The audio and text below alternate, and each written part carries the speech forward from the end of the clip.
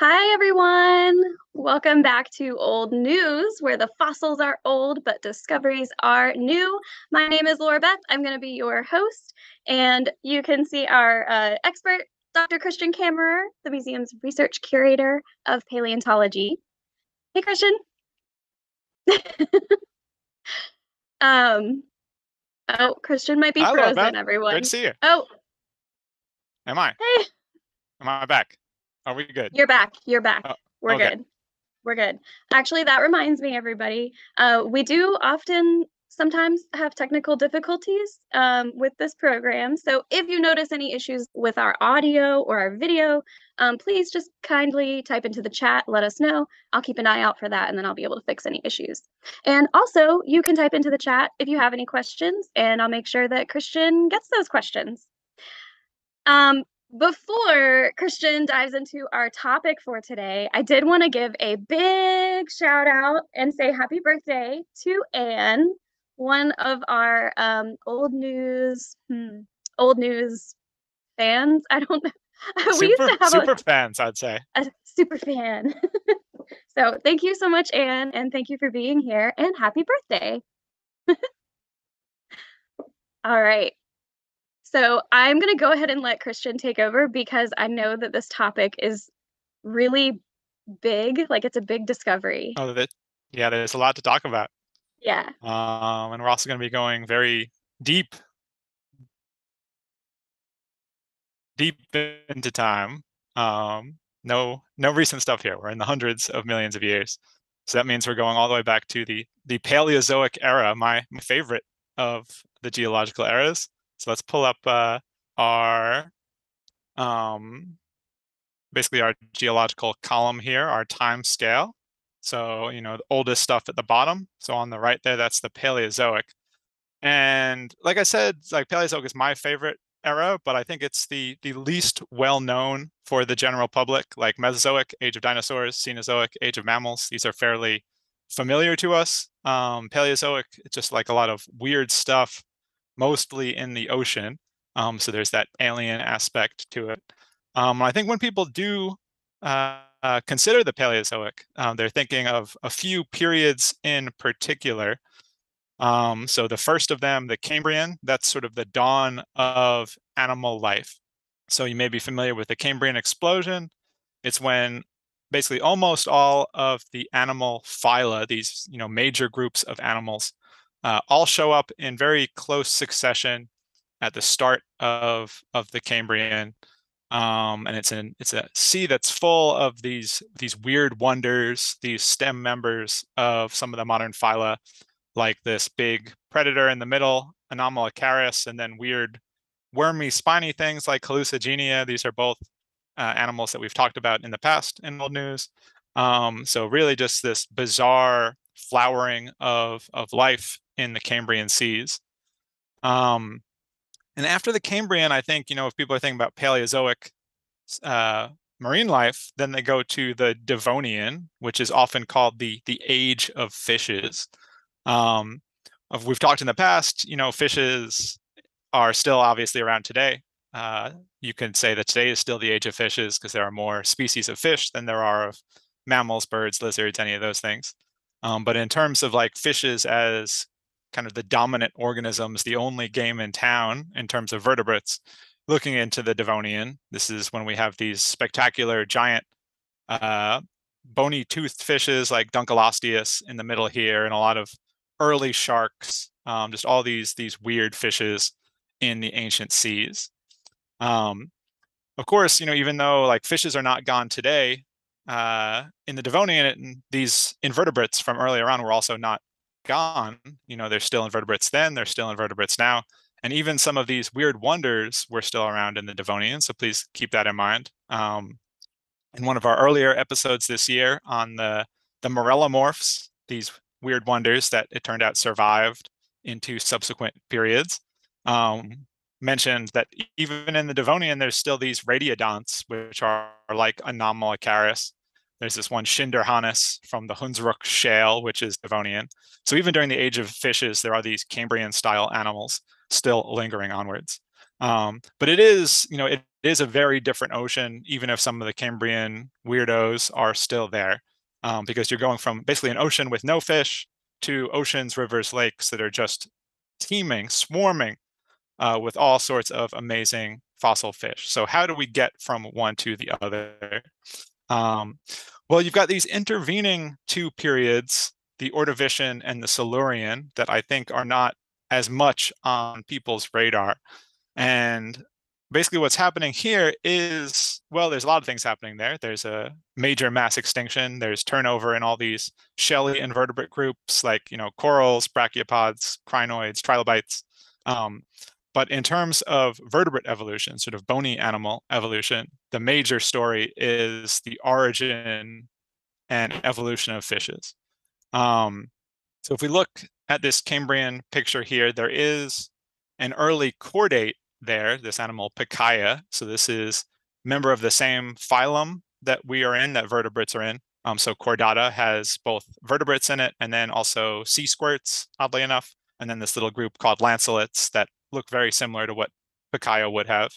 Um, but this isn't a true a true fish. I mean, it's not a vertebrate. It's not even sort of closely related. It's not more closely related to fish than it is to say a sea squirt. Um, so somewhere in between, you have these fish showing up after the Cambrian, but before the Devonian. Um, and so which fish are these? Well, we know the most sort of early diverging. Um, you could also, they're often called primitive, um, these modern jawless fish. Uh, but they're also, they're quite derived in their own way. I, so I think it's maybe a mistake to think of them as primitive. We know that, that the ancestral condition for fish isn't this suction cup mouth horrible flesh sucking lamprey parasite thing going on so that's a very derived feature of of lampreys um that's not the primitive condition uh, but these are these are very sort of ancient styles of fish so lampreys and hagfish these jawless or agnathan fishes um, must have evolved back at this time for, and we know that from molecular data uh, which shows that they have very ancient lineages um, but these animals have very poor fossil records. So these are not bony creatures. Um, they don't even really have uh, vertebrae in a strict sense. Um, so they're not, not really vertebrates, uh, but they are sort of the earliest things that would be considered fish. But because they're soft bodied, we don't really see them in the fossil record. Um, what we do see in the fossil record by the Ordovician and the Silurian are another early chordate group uh, that is related to vertebrates the conodonts, which are known from these isolated sort of tooth elements um, that for many years were mysterious and it wasn't even known that they were vertebrates. Um, and now there's complete specimens that show that they were very, very weird creatures, uh, but clearly something eel-like uh, on the vertebrate lineage um, with these giant eyes and sort of the teeth in this weird grinder uh, inside the mouth. So there are the isolated conodont teeth from early on, um, but very little in the way of like things that we would consider like proper fish uh, until you get this group, the the osteostracans. So these are basically things that look kind of like armored tadpoles. Um, you can see the an actual fossil of one of this uh, well-known Ordovician osteostracan called Sacabambaspis in the upper left and then in the, the center, what it may have looked like when it was alive. Um, so it may not look like a very impressive fossil. It's kind of like a, a weird potato looking thing. Um, but I assure you for by Ordovician fish standards, that's sort of a spectacularly complete uh, specimen right there and has been, been very informative. Um, so osteostracans, these are jawless fishes still. Um, so things like Sacabambaspis and then Astraspis shown at the bottom uh, had these big head shields um, of uh, basically armor and then these more elongate sort of uh, like i said tadpole like tails there and most of early fish evolution is a variation on this theme of like having this head shield and then this sort of scale mail armored tail behind it um, so when you go from the ordovician into the silurian um, you're still seeing the vast majority of the diversity is in these armored jawless fishes. Um, so this is an illustration of the, the fish assemblage, the different species known from a, a very diverse and fossil-rich site in uh, Saaremaa Island, uh, which is part of Estonia. It's an island in the Baltic Sea uh, that has these wonderful Silurian outcrops there. Um, and you can see almost all of these are jawless fishes. Uh, but then in the, the upper left, that uh, fish marked 11, that is sort of like drawn in ghostly with a dotted line as if it's not even there. Um, this is an indication that perhaps there is more to Silurian fishes uh, than the fossil record would otherwise indicate. So there are these isolated bits of scale and tooth that have been known from the Silurian for a long time. This one was a taxon called Andreolepis, um, suggesting that more advanced fishes, jawed fishes, which are the group called gnathostomes, uh, may indeed be present uh, in the Silurian. Um, but really for you know decades and decades now, that's all we really had to go on were bits of scale, bits of tooth, suggesting that gnathostomes were evolving by this time, uh, but nothing really more than that. Um, which is why a, a recent issue uh, of Nature uh, was sort of a you know an atom bomb to the world of Paleozoic fish evolution. Um, four papers describing actually five new, uh, completely unknown species of fossil fish from the early Silurian um, that show that these jawed fishes uh, were diversifying much earlier than previously thought. Um, so here's just a close up of the art showing showing these new species of fishes. I'm going to get into them in a little little greater detail.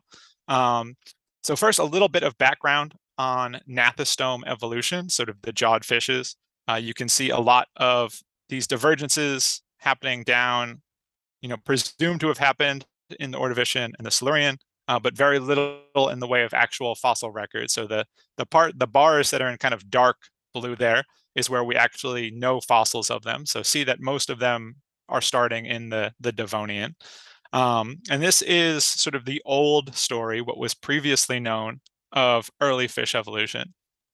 So especially you have these, uh, you know, you have cartilaginous fishes, chondrichthyans, which is modern sharks, rays, and chimeras.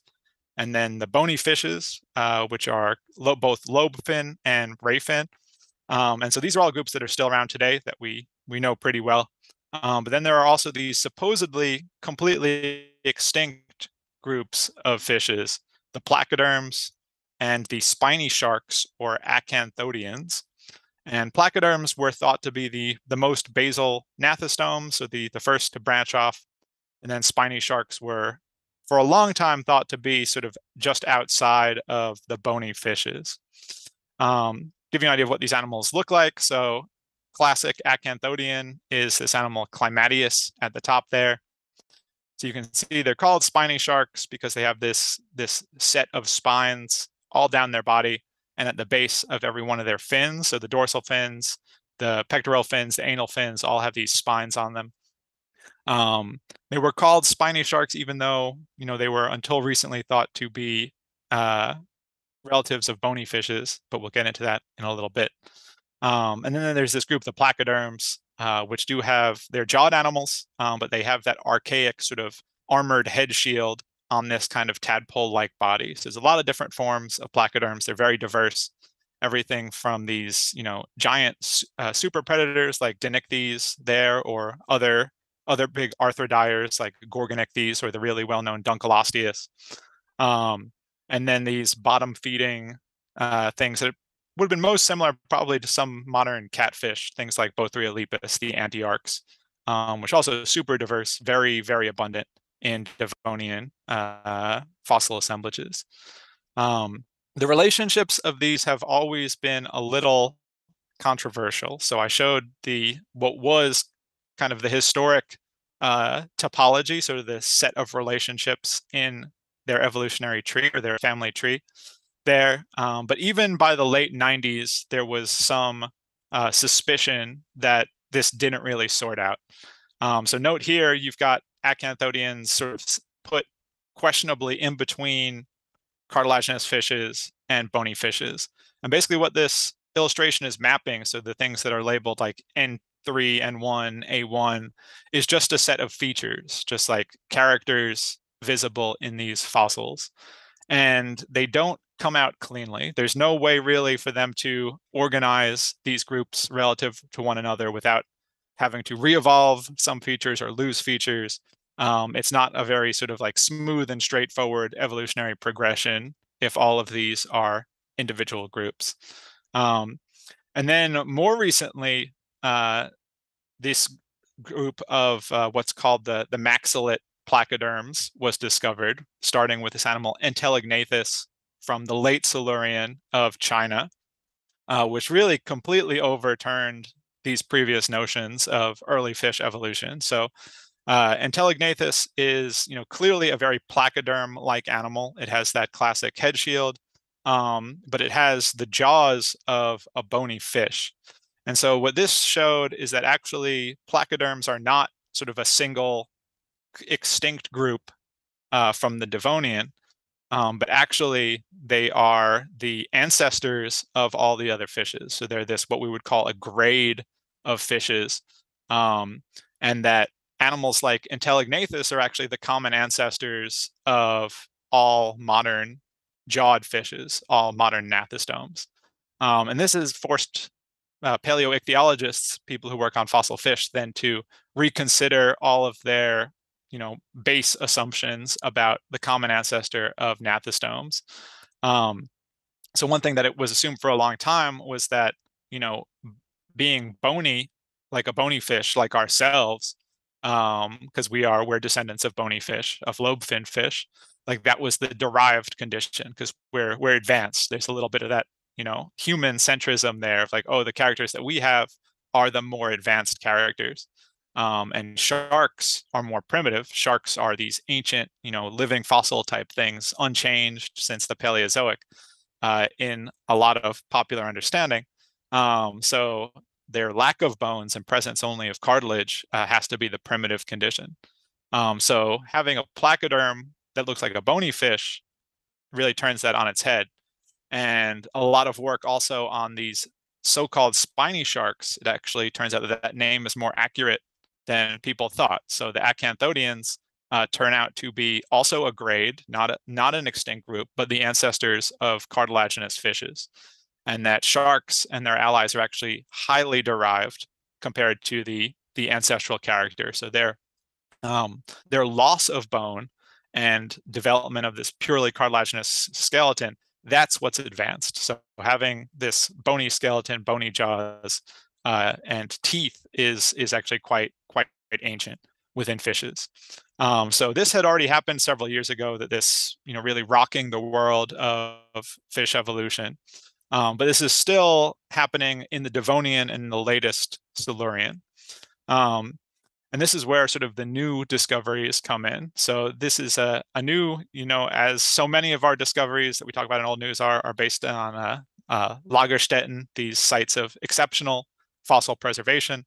Um, and it's in central China in uh, Chongqing, um, specifically uh, at the border between Chongqing and Hunan provinces. Um, and this is actually a series of fish and other fossil bearing beds, uh, both from the late Silurian, but most importantly, several very fossiliferous beds from the, the early Silurian. And so just to go through a few of the big discoveries from these, these recent papers, um, we'll start with maybe the, the least visually impressive one, which is uh, called uh, uh, duplicis. Um, so this is a, a tooth whorl. So you can see it's uh, each of the different colored things uh, in the figure to the left is uh, is identical. So it's part of a tooth that's in this uh, larger structure that grows outward and has teeth in the, the lower jaw. So if you've heard of tooth whorls at all in a paleontological context, you probably are most familiar uh, with these, this shark-like animal, uh, Helicoprion, um, wonderful creature from, from the Permian period. Um, it's the buzz saw shark. I mean, it's it's close, more closely related to ratfish, but it is it had a you know was filling a shark type niche in the Permian. Um, And because of animals like this, which are, you know, bizarre to our modern eyes, uh, I think we often think of tooth whorls as being, uh, you know, unique to something like Helicoprion and its allies.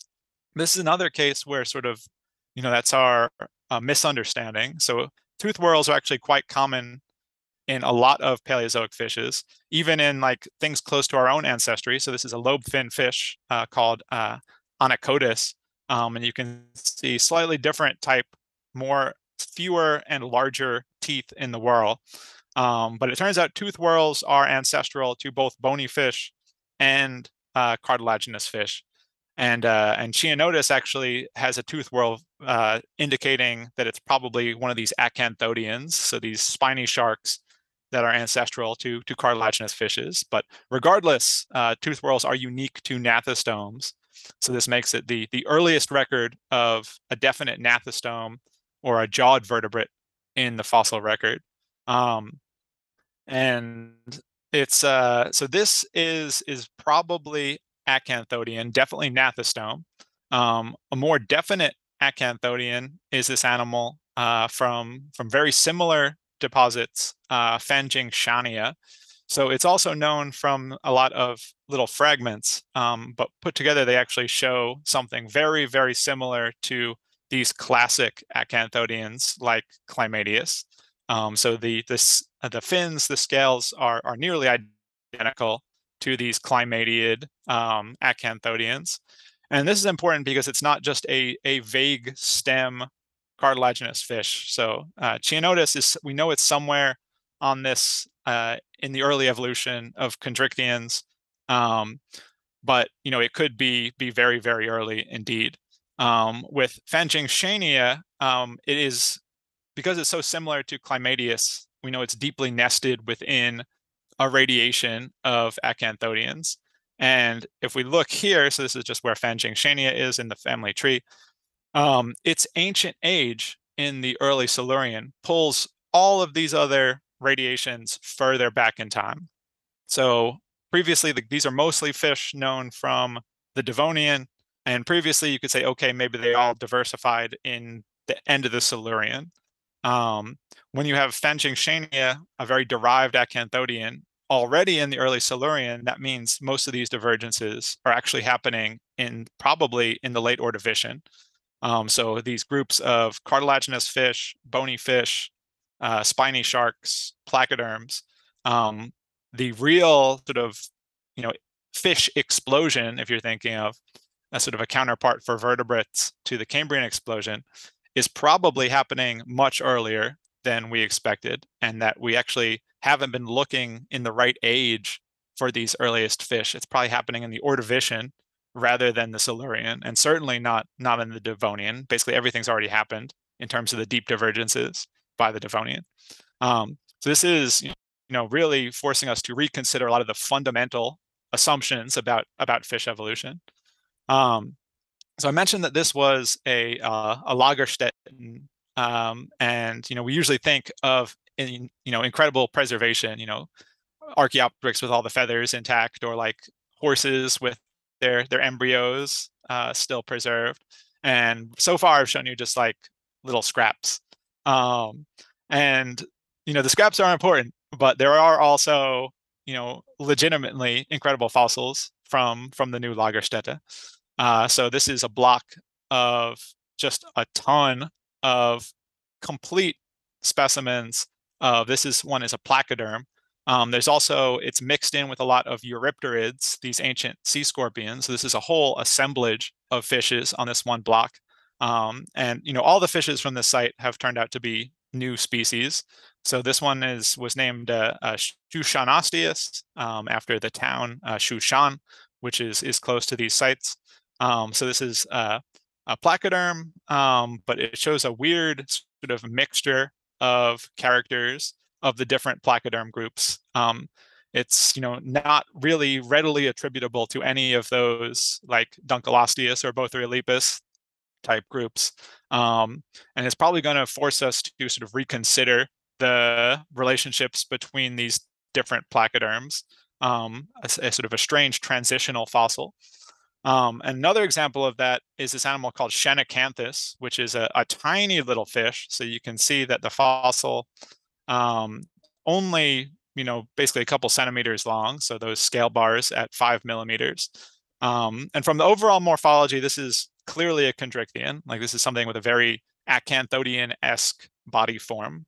Um, but unlike any that has ever been found, it has a it has that head shield, it has that bony capsule around the skull in the anterior body, which is a placoderm character.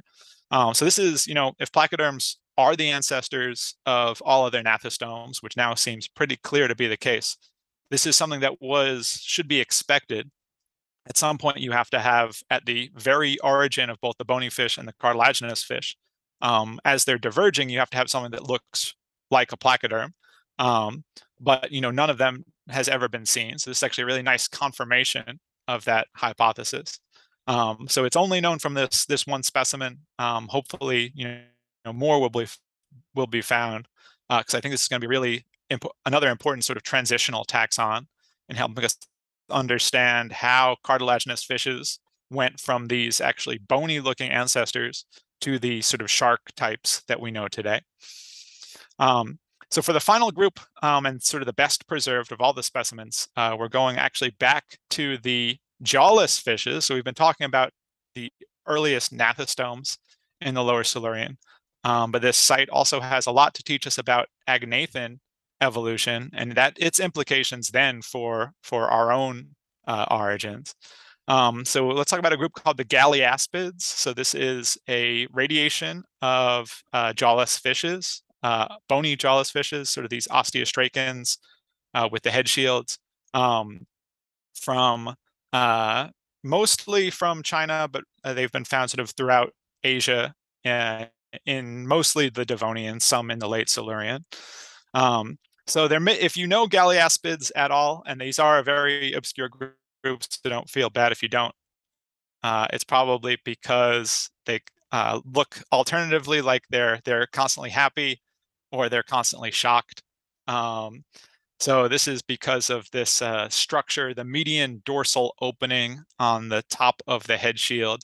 Um, this is not actually the mouth. Their mouth is is underneath, uh, like in a, a ray or a skate. So this opening is is not it's not 100% known what it is, but it's thought to have been a both uh, an incurrent flow for the gills. So this is how they suck in water in order to breathe, um, and also olfactory, so for smelling the water. So very similar to what uh, modern hagfish have, these living jawless fish, what's called the nasopharyngeal duct, where they suck in water to breathe and also to smell the world around them. Um, so Galiaspids probably doing something pretty similar. Um, so Galiaspids, there are a lot of fossils of them known, um, but historically they were just known from these kind of isolated head shields. Um, and so the new ones uh, from uh, Chongqing are actually uh, beautiful, complete specimens um, that give us a huge amount of new information on both Galiaspid morphology and about sort of vertebrate evolution in general. Um, so you can see, you know, there's just a, a, whole fish here with even all the fin rays still intact. Um, and these belong to, you know, a new taxon uh, called uh, Tujiaaspis. Um, and the specimens are so complete that they've enabled basically a, uh, a total reconstruction of what the fish would have looked like when it was alive, which you can see in this uh, computer generated rendering here. Um, and what's really interesting about this is that it shows a few things that were actually unexpected for Galiaspids. Uh, so it has three distinct dorsal fins, um, but then it has on either side of the body this ventrolateral fin fold, um, sort of at uh, where you would expect sort of pectoral fins or pelvic fins to be. Um, and this is actually really important because uh, it bears on the question of where vertebrate limbs came from. Um, so of course, you know, we have arms and legs, uh, vertebrates in general. Uh, this group, the tetrapods, to which we belong, are the limbed vertebrates. And we know that these are descended from the lobe fins of fish uh, like you know living lobe fins or the coelacanth and the lungfish. And we have common ancestors going back to the Devonian that have these precursors of limbs. So things like you know Tiktaalik is an ancestor or ancestral form for uh, for tetrapods that has has fins, uh, not arms and legs yet. Um, but where do fins come from? I mean, that's the question. It's you know you can go further and further back in time, asking where these structures come from. And so the question of where fins originated has been debated for years and years and years among you know ichthyologists, evolutionary biologists, developmental biologists. Um, there were really two major hypotheses. Um, one was the what's called the the finfold hypothesis, which is that you know ancestrally there were these lateral fin folds of just like uniform long fins throughout the body, and then you know over time as these animals evolved, these were separated uh, into the they were sort of discretized into the pectoral fin, the pelvic fin, the anal fin, the dorsal fins, the caudal fin. Um, the alternative hypothesis was the gill arch hypothesis, which is that the these fins are actually derivatives of the posterior parts of the gill skeleton. Um, and these arguments went back and forth for many years, but most recently based on a lot of developmental data so that's looking at embryos, seeing how uh, you know things in sort of in the egg are developing.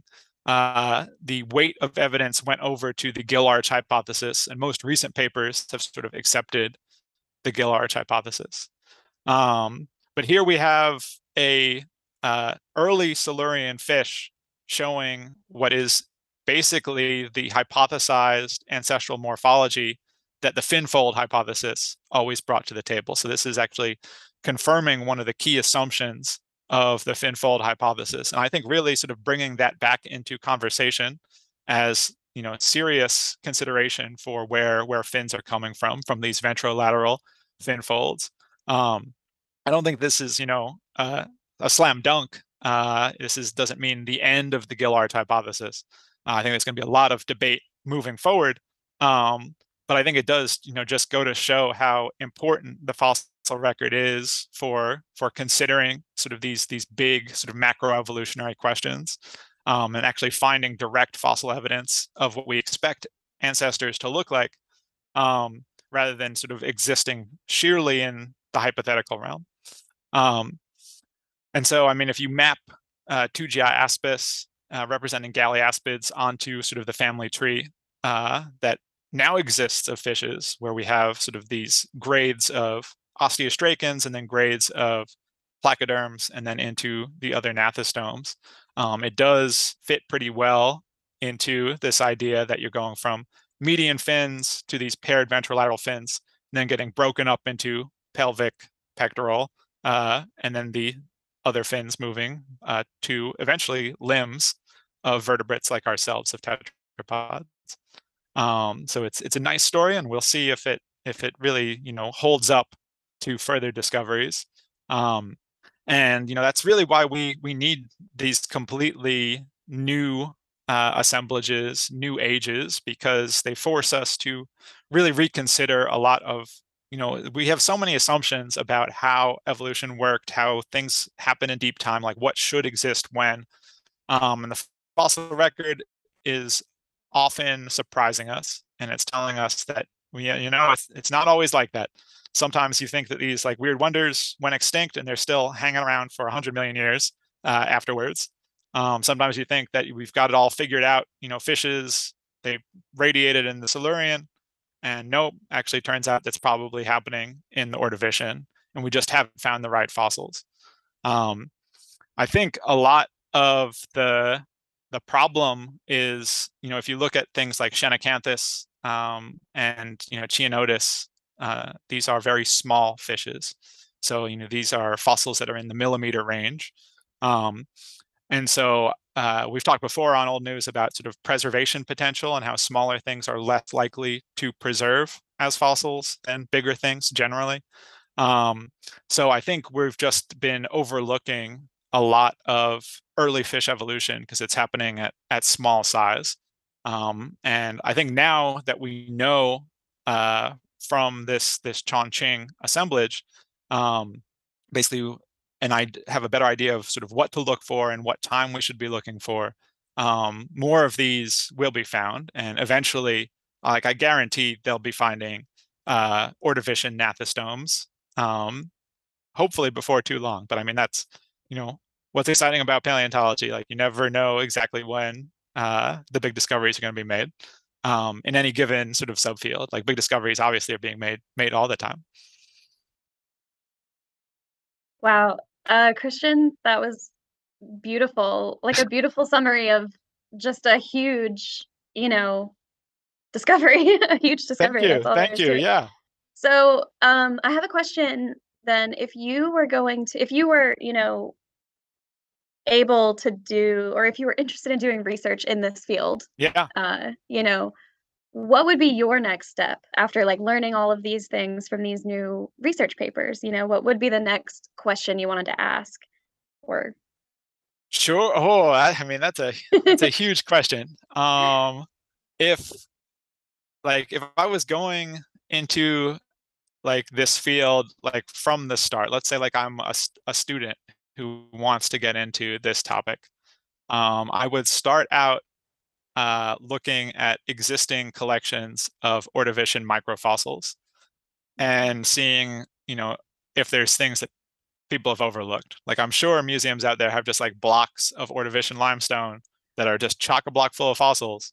Um, and people never expected there to be vertebrates in there or gnathostomes to be in there. So they haven't bothered to go through and like dissolve out uh, potential tooth whorls or fin spines or things from the tons of like brachiopod chunks or sort of trilobite pygidia or whatever is actually in there. Like that would be a very like rel- relatively easy first step towards trying to find some of these.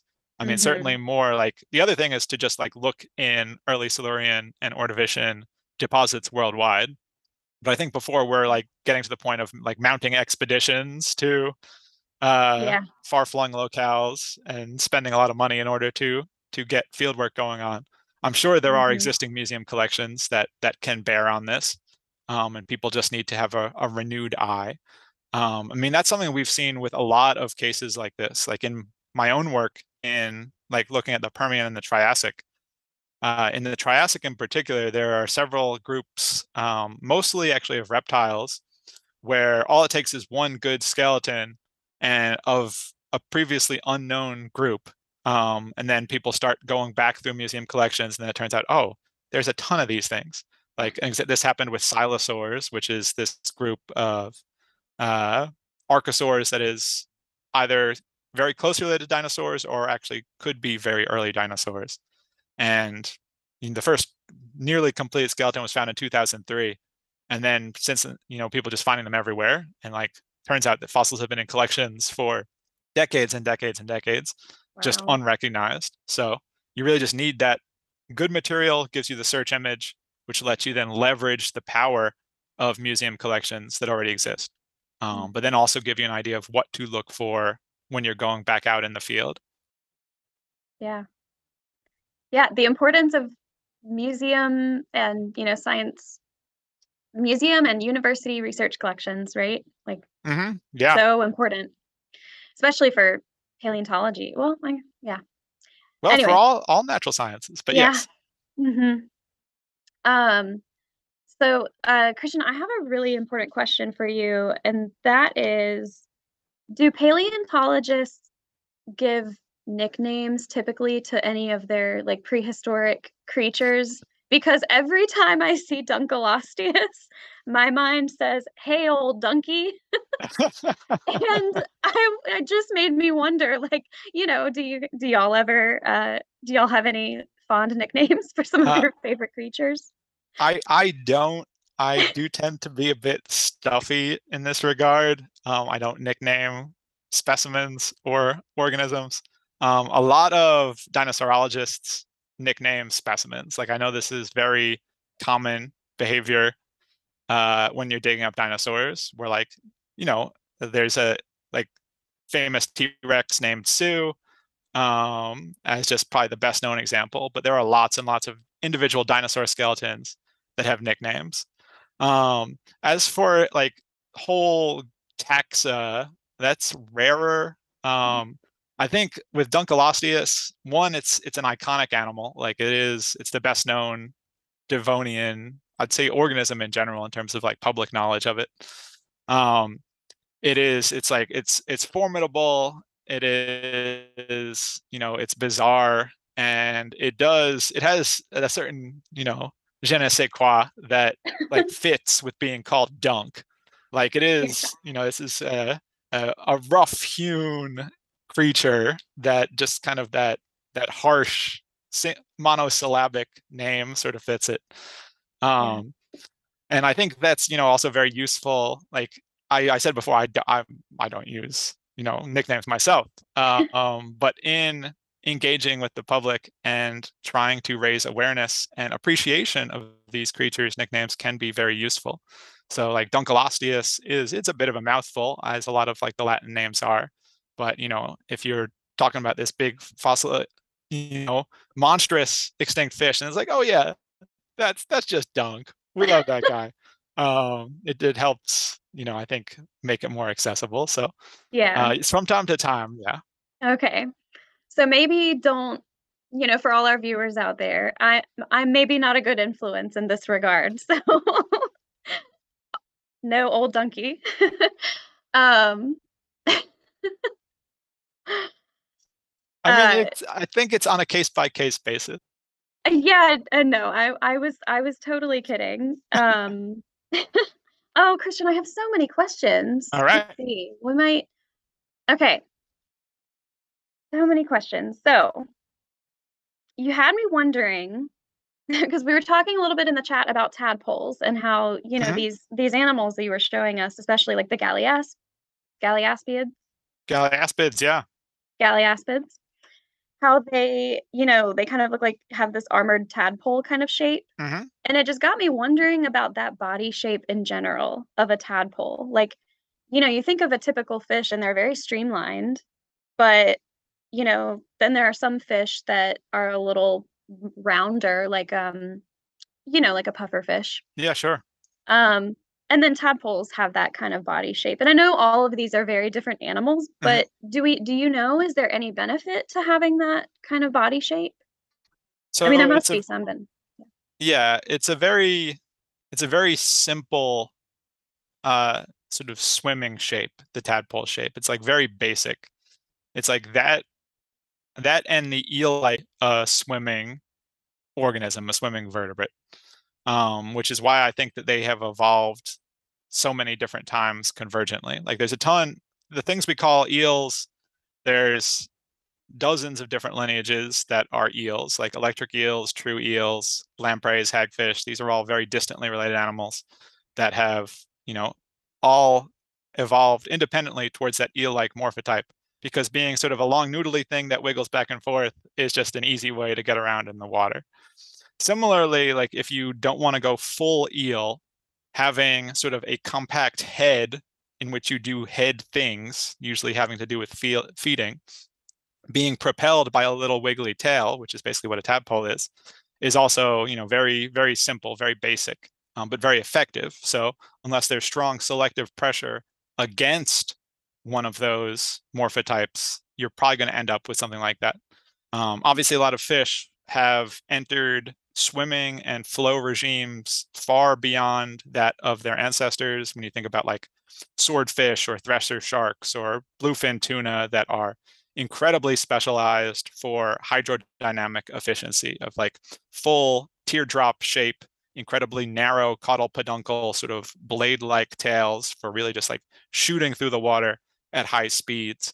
Um, or alternatively, things like pufferfish or ocean sunfish or um, like triggerfish that are optimized for maneuverability where the body is very compact it's not capable of a lot of undulation that's that wiggly uh, movement um, but they use their their various fins uh, to give them a huge amount of control over the three-dimensional world in which they live because you know being in the ocean they can go 360 degrees and then also up and up and down. Um, and so something like a pufferfish, you'll see it doesn't wiggle its body back and forth for the most part. Um, it will stay relatively in place, but it's constantly kind of fluttering its different fins, um, almost like you know if you're thinking less like a ship or a plane and more like a lot of you know drones that have all these different sets of uh, rotors that keep them in place and give them very high maneuverability. Um, so there are all these very advanced things that fishes do. I mean, fishes are so diverse; it's not surprising that they've come up with all these things. Um, but there are also just these very, very basic ways of getting through water. So, uh, and that's what you're seeing in a lot of these ancestral groups. So, eel-like, tadpole-like, um, they're just relatively simple approaches, but they work. So they keep being re-evolved. Mhm. Wow. Thank you. And on a similar note, what would be the benefit, do you think, of a cartil cartilaginous skeleton?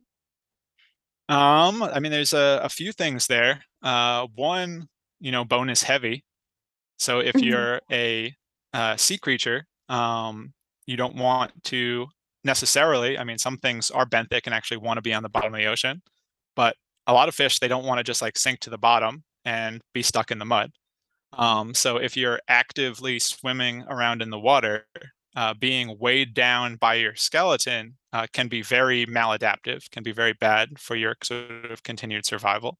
Um, so actually, you see a tendency towards uh, losing bone in a lot of big bony fish. Like if you look at something like a sturgeon or paddlefish, or even something like an ocean sunfish, um, sort of the biggest, heaviest bony fish that are alive today. Um, sturgeon and paddlefish are actually they're bony fish, but their skeletons are mostly cartilage, so they have independently moved towards mostly cartilaginous skeletons. Um, things like the giant mola, these sunfish, if you look at the actual skeleton, it's highly reduced. It's mostly meat in there, and then they have this like incredibly abbreviated backbone. Um, and so in both cases, they are they are trying to shed as much of that weight from bone as possible so they don't have to you know just essentially be be sunk by their own bodies um, so so that's that's one thing um, another thing is that there's also just uh, a lot of energetic costs not to say nothing of weight of actually being able to grow bone so you know if you look at at embryos at least you know there is a lot of these cartilage cartilaginous precursors. Um, and so there's a lot of energetic cost to actually turning that cartilage into bone. Um, and so if you can just forego that and go all cartilage, um, you may have a leg up, especially if you're like a lot of sharks do have, you know, a lot of being an egg sac with lots of yolk um, and just sort of ready rearing to go once you pop out and just start chomping down on things. Um, and don't necessarily have to go through the larval stages uh, that a lot of bony fishes do. Right. Wow, I did not know a lot of that. I learned so much. Um, thank you so much. Well, thank you. Christian. Yeah, of course. Um, and thank you, of course, everyone who joined us today. And uh, again, happy birthday, Anne. Um, everyone, we hope that you will join us again next month in November. We will. We don't know yet what the topic is, right? Yeah. We always well christian always chooses it um like within the within the week of uh the program so it's always going to be fresh be up to the minute. yeah all right everyone have a great day thanks again for joining Yep. Stay safe out there, everybody. Bye. bye